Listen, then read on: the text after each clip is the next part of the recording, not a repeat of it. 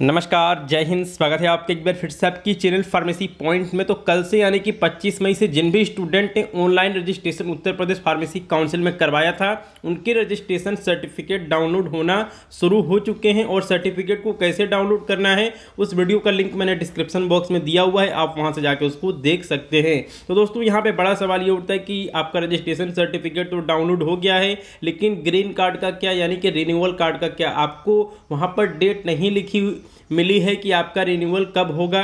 तो इसके लिए आपको ग्रीन कार्ड पहले दिया जाता था, लेकिन अभी ग्रीन कार्ड का जो सिस्टम है, उसको बंद कर दिया गया है। अभी ग्रीन कार्ड की जगह आपको एटीएम की तरह देखने वाला रिन्यूअल कार्ड दिया जाएगा, जो कि आपको कुछ इस तरह का आपके घर पे by post Uttar Pradesh pharmacy council की तरफ़ से आएगा।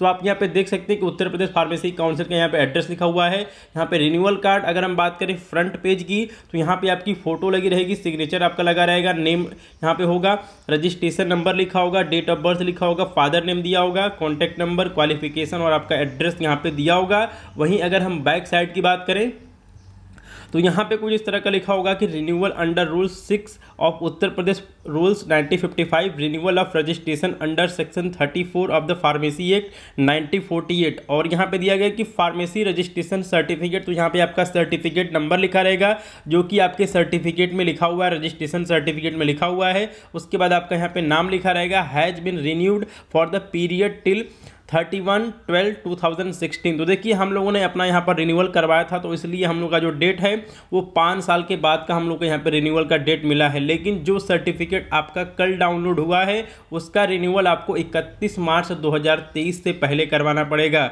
जब आप इकतीस मार्च दो हज़ार तीस से पहले अपना रिन्यूअल करवा लेंगे, उसके बाद आपको प्रत्येक पाँच साल के बाद अपना रिन्यूअल करवाना होगा। तो देखिए, जो आपका रिन्यूअल कार्ड है, आपको कुछ इस तरह का, आपको एटीएम की तरह आपको कार्ड आपके घर पर डिस्पैच किया जाएगा उत्तर प्रदेश फार्मेसी काउंसिल की तरफ़ से। और ये आने वाले 10 से 15 दिनों में या फिर कहीं मतलब एक महीने के अंदर आपको आपका रजिस्ट्रेशन सर्टिफिकेट और जो आपका रिन्यूअल कार्ड है, वो आपके होम एड्रेस पे, घर के पते पे भेज दिया जाएगा। तो दोस्तों, आपको ये वीडियो कैसे लगी? आप इस वीडियो को लाइक करें, साथ में जो भी आपके फ्रेंड्स हैं, उनके साथ इस वीडियो को ज़रूर से शेयर करें। आपका ये वीडियो को देखने के लिए धन्यवाद। जय हिंद।